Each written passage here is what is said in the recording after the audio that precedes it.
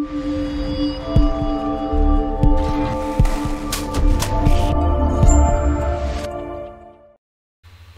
everybody and welcome back to UE5 BP Guru.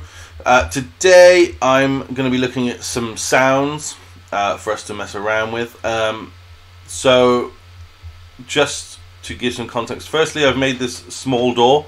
It's just a smaller design so I can use uh, for small rooms, not corridors. Uh, also I've, there's a new door here. Huh, would you look, would you look at that? Wonder where it leads. Let's have a look, shall we? Oh, we have a new corridor. Yeah, I've just basically been messing around trying to start designing on some level work, uh, and I thought I would start by just making this basic corridor. I like I'm gonna obviously update it and add new textures to it, add more detail in there. Uh, but I thought I'd just give it a start, a little prototype, if you will. Uh, I've added in some like small ventilation-looking shafts. We've got this kind of low-leveled light that runs along um, the floor. Um, I'm gonna add some stuff that's like some wires and stuff and uh, more lights running at the top. Um, this is just a sort of scene test for when I basically start my game. Uh, I want it to be when you come into the maintenance bay all dark and gloomy like this. So it's very hard to see. But um, yeah, we'll we'll be kind of working on this over the next sort of month or so, just um, adding detail in here and, and, getting it ready to go. But I thought um, it would gave me an idea to sort of do a little tutorial where um, you kind of walk down here and a sound plays, maybe like a scuttling in the vents plays to the left, and then as you get down to the end, you'll hear the generator running in the background. Um, so yeah, so let's. So I thought we'd kind of work on some fading of sounds. To to start this tutorial, I've got um, two sounds. I've got a sci-fi generator sound. It's quite loud, so I'll probably dim that down a bit, but um, that'll play when you get to the end of the corridor. It'll like fade in. and I thought some sort of like small scuttling sound in the in the vents would be cool. So to do this, I, am going to basically promote both of these to their own BP. Um, one of them, let's do the scuttling first. So for the scuttling, um, um, I want it to play just once. So You'll enter the box, it'll play, and it'll never play again. So let's go to our event graph. Uh, oh, we want to add in a uh, box collision. Like so. Uh, well, yeah, that should be fine, to be honest. Um, right. Let's just make sure, yeah. That seems fine. Now you can obviously change the size of the box depending on the size of the corridor and where you want the player to hit that box. Um, this also works for things like voice acting and stuff like that. So when you have um, something come over like a radio, uh, I wouldn't add the fade in on this, but you would just have it like, "Hey buddy, how's it going? Where are you?" Blah blah, blah and then come off like you know. Uh, that can be triggered through this method as well. You just wouldn't use a fade in; you just use a play uh, sound and just do a do once or something like that. Okay, so delete all these. We don't need any of those. Uh, we just need the box and we just need that begin overlap and the end overlap. We are going to cast it to our main character, so cast to third person character.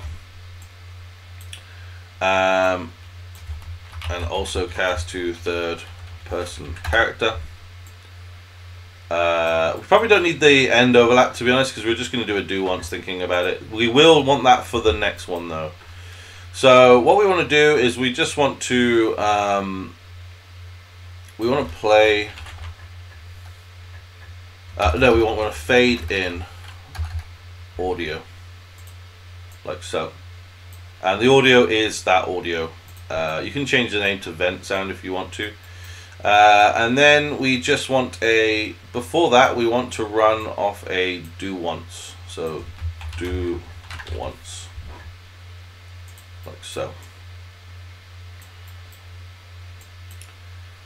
Uh, just like that, and it'll only ever play it once. Okay, it'll ever fire this once. And to be honest, once it's um, once it's played, you could destroy the actor. To be fair, to get some extra stuff out of here, so work out what the length of the audio is if you can.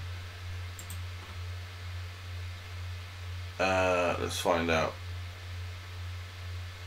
So it's 5.44 seconds, so delay 5. Point, uh, delay, oh, which one's standard delay? What am I doing? 5.44. Okay, so it'll play the full length of the sound, um, and then um.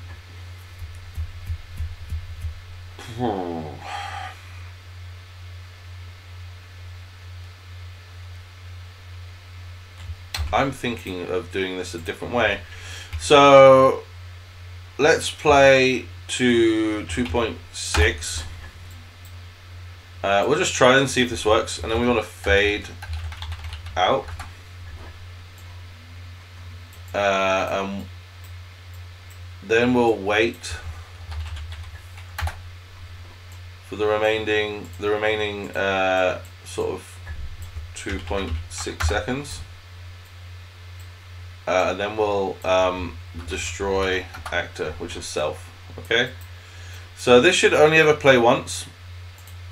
Let's give it a go.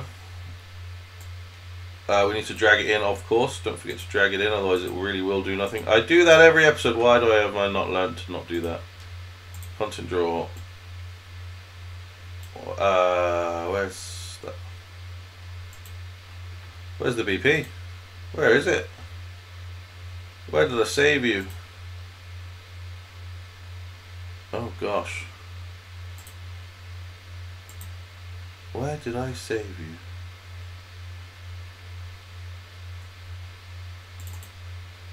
If I do the same thing, I might find where I've saved it. Um, in blueprints, apparently, wherever that is. Ah, there you go. There it is. Okay, so I want to now just kind of do this and do this. Okay.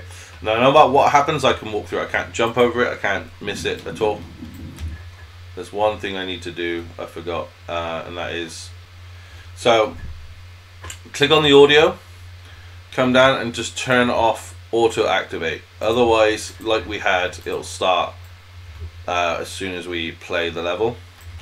You want you probably want that just for things like um, ambient sounds on levels. There you go. We've hit the thing, and it's played it. And it's the do once has worked completely fine. So uh, it played. That's fine. It didn't really fade in though, but that's fine. Uh, oh, it's because I've set the fade in duration to zero. You probably want the fade in uh, duration to be like one, so it sounds like it's coming closer and the fade out duration to be probably one on there as well. Uh, let's try it again.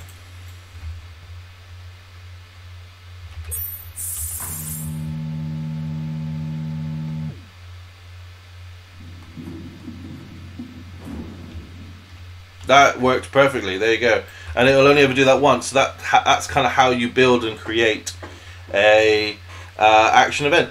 And um, that's obviously to do with sound. But um, yeah, and then you could then just destroy the actor afterwards because you don't need it ever again, uh, and it'll be gone. Uh, the next thing we wanted to do was same thing again, uh, but we want to do this for um, our generator sound.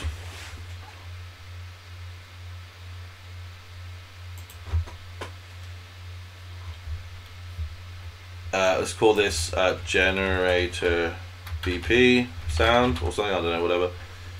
Uh, we'll save it in the same location for now, it's fine. We can drag those out later. Uh, right, uh, add another box collision.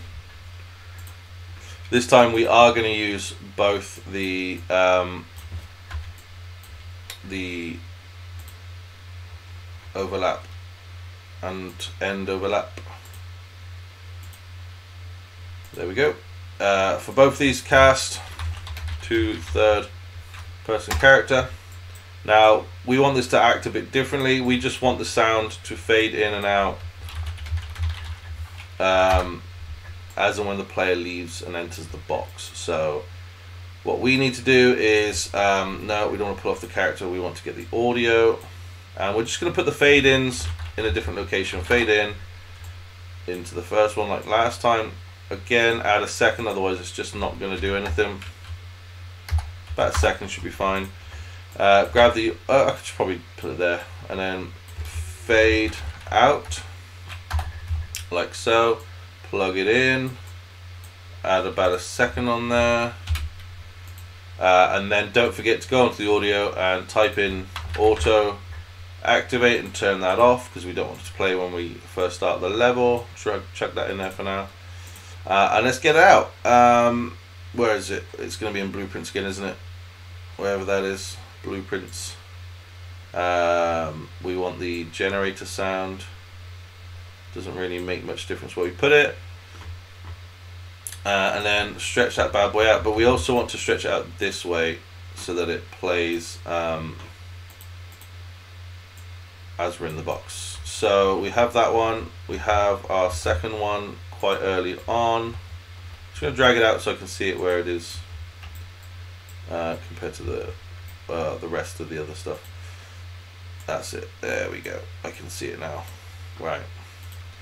Um, okay, so when we get to the end of the corridor, uh, the generator will begin to play. Uh, should fade in and fade out with no issues whatsoever. So, back into our very noisy corridor. We get the we get the vent playing. Obviously, it's not very scary because why would it be?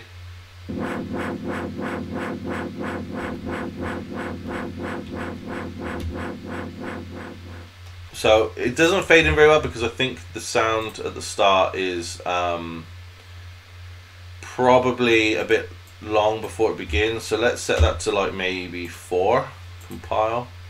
Uh, the other thing I probably want to do is set the audio onto loop. I probably can't do it in here, probably have to go into the sound itself. Uh, so let's find our sound just very quickly and just set that to um, loop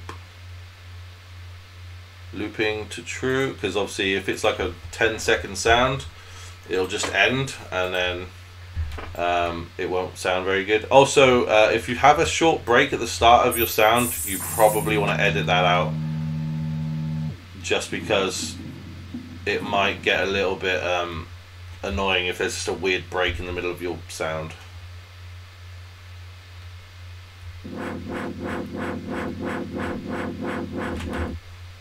So yeah, uh, the say the fading I think is the sound more than anything. It should work with anything else, but I think the sound is what's um what's causing that to happen. Um, I've got it open. How long is the sound actually? Thinking about it. Uh, just ten seconds. Um, boom, boom, boom. Where are you? Uh, okay. That's fine. Let's make the start time like a second. I just want to see what it, what it does, if it does anything. But either way, it, it shows with the first one it is working. I think it's just the sound. For the second one, it's a bit rubbish. So that fades in, and then we'll fade out. And then as we get closer,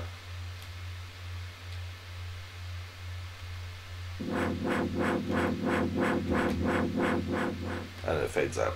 So yeah, so that's kind of how you deal with those sort of things. Um, again, with the generator, you would have that collision box cover whatever area you want that sound to play from. So, for example, like me, if you're doing a generator, you would have it maybe. Um, you'd have some attenuation on it, of course, so that it, it fades in gradually, but um, or at least the sound gets larger the further you, the closer you get. But to fade in that sound, you'd want it starting from like maybe a lot further away uh, than actually just getting into the generator room. Um, so bear things like that in mind when you're creating your levels. Uh, but yeah, so hopefully this has helped you a bit, um, and I will see you in the next episode. Thanks so much. Bye.